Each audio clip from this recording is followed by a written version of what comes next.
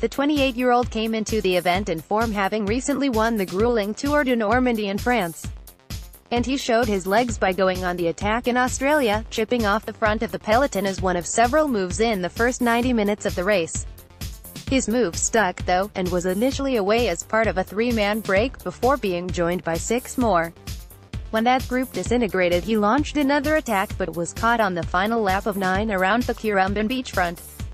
He eventually finished 7th for Team England but was still not happy with the result, I'm disappointed.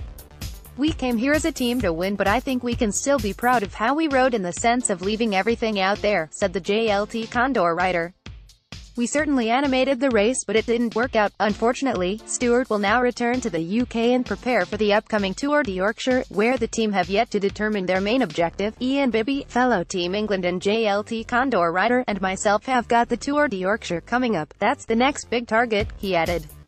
For the Tour de Yorkshire we're going to spend some time recceing some stages and either go for a stage win or try to get a good solid GC, maybe a top 5 overall. Fellow Yorkshire riders Adam Blythe and Ollie Wood failed to finish the race, the latter suffering an early puncture and struggling to work his way through the back markers, while Harry Tanfield followed his time trial silver with another strong performance on the road, finishing 42nd.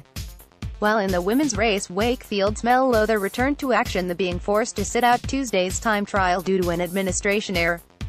She finished ninth in the race and admitted to having considered not racing in Australia. Ahead of the race I was pretty all over the place mentally.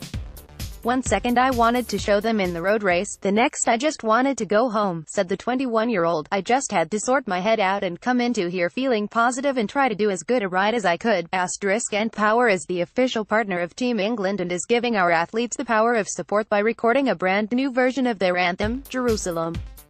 To listen to the track visit npower.com slash Team England.